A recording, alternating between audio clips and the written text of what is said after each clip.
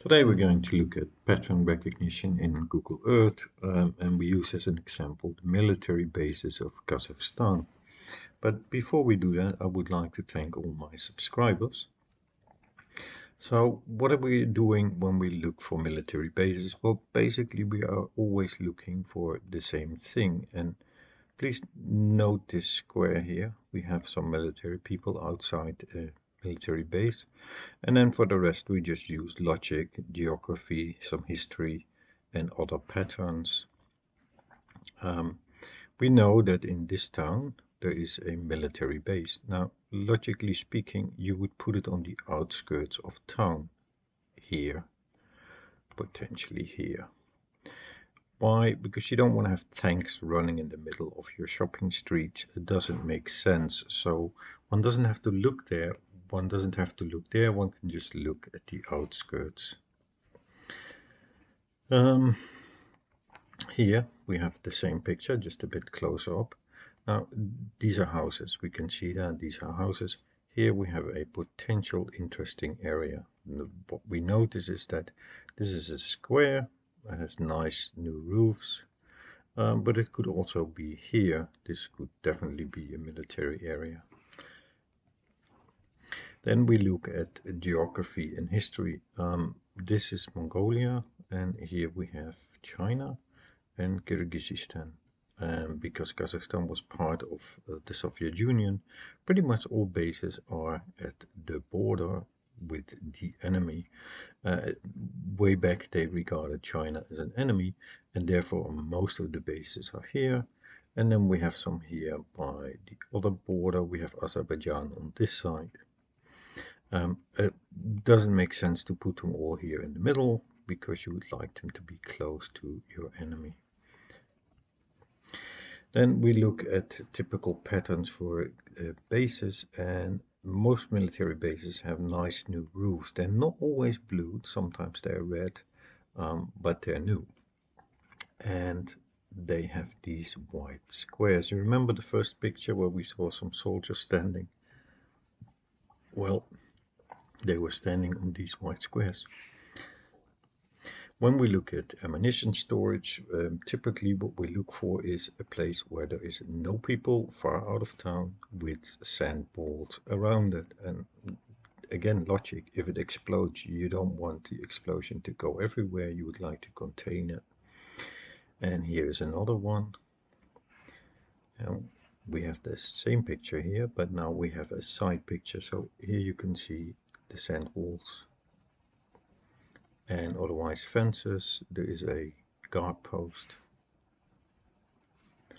Sometimes you have to go back in time because Google uh, Earth only flies over uh, once every so often. So on the right picture we have a military base but we can't see much. But then if we go a little bit back in time we can actually see lots of tanks and other military vehicles. So using these uh, tricks and knowledge, it is relatively easy to find lots of military bases. Now I will go over to Google Earth and show you here we have a military base, show you how it works. You see nice new roofs. Well, let's just start somewhere.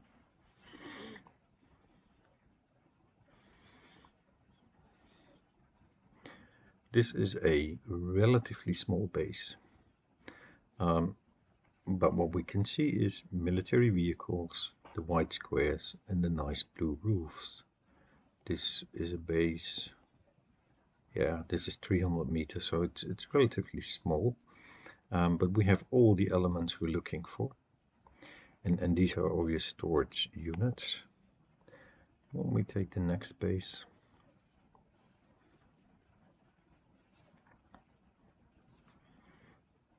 and this is a base in the middle of town. Um, this is a uh, bit of a contradiction because I just told you that most of them are outside town. This one is special. This is the only one I could find that actually was in town. It does, however, have a few of the elements we're looking for. We have the white squares here. It's not so clear in this picture. Let's, let's see if that's better we have the white squares we have the blue roofs and I believe there is some exercise area. Here is an exercise area. And now we go to big base.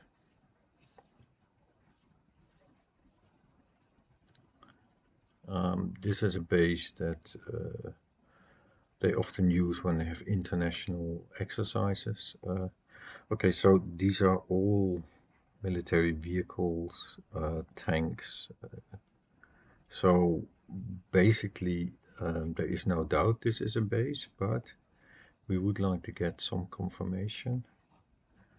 And I can see here is a picture. Let's click on the picture. Yeah, and there we have a tank. Um, also typically something they like to do in, in Soviet, uh, former Soviet countries, you have either tanks or, or airplanes outside the base so everybody can see what it is. Um, this is a very big base and there should be a training area close by. We can see tracks here so it's relatively easy to see where they are going. And here is where they train and practice. They drive their big tanks. And I made a photo pin. That means there should be a picture from somebody. Yes, here we have confirmation.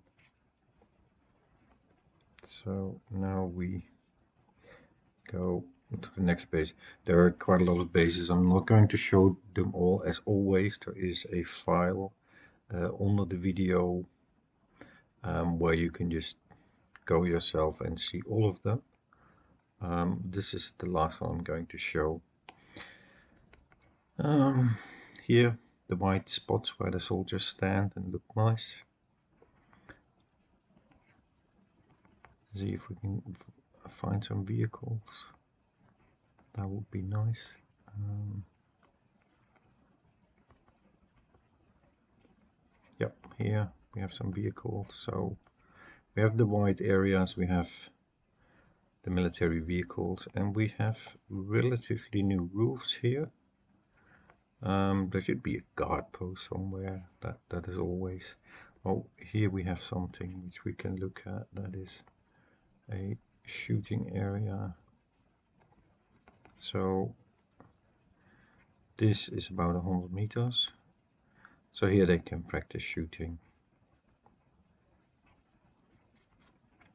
Well, um, I will do uh, some more tutorial videos about how you can recognize things, but for now, thanks for watching. Bye.